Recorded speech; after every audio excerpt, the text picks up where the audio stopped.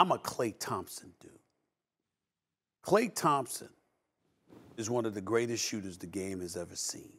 Mm. I think arguably top three all time. Klay Thompson in his entire career has never shot in less than 40% from three point range, just like Steph in the season. I'm not talking about the five games Steph played during the lockout season. I'm talking about full season. The brothers never shot less than 40% from three point range until this year.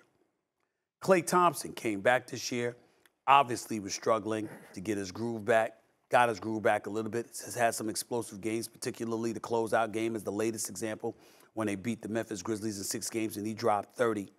Klay Thompson shot 36% from three point range that series, which is not shabby. This series against the Mavericks, he's shooting 27% from three point range.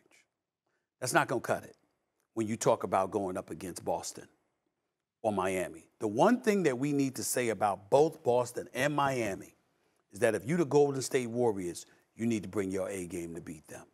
You ain't gonna beat them with your big with your B game because they're gonna get physical, they're gonna get up in you, and they're gonna do whatever they can to, to, to try and neutralize you because you got to remember when we look at Jayson Tatum, he's 6'9. When we look at Jaylen Brown, he's 6'6, 6'7. You know, you look at Al Horford, he's 6'10. You look at Robert Williams, about 6'10. Marcus Smart is a pit bull. We get all of that. Golden State Warriors is a finesse team. Looney, great game the other night, no doubt about it. Andrew Wiggins got some length on them. Klay Thompson, 6'7, Steph Curry, 6'3, Jordan Poole, like 6'3, 6'4, etc.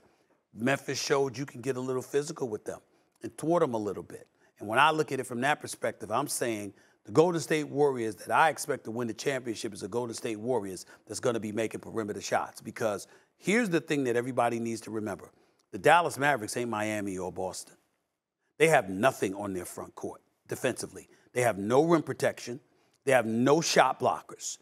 That's not a problem with Miami and Boston, especially Boston, because both Horford and Williams can do that for you. And so, and to me, if you're the Golden State Warriors, in order to beat them, you got to scorch them from the outside and obviously pushing the ball up the court and exploiting them on fast breaks in the open court. That's going to be your two best ingredients in order for you to be able to beat them. Dallas is not the appropriate litmus test, and that comes with being able to hit shots. Thanks for watching ESPN on YouTube. For live streaming sports and premium content, subscribe to ESPN Plus.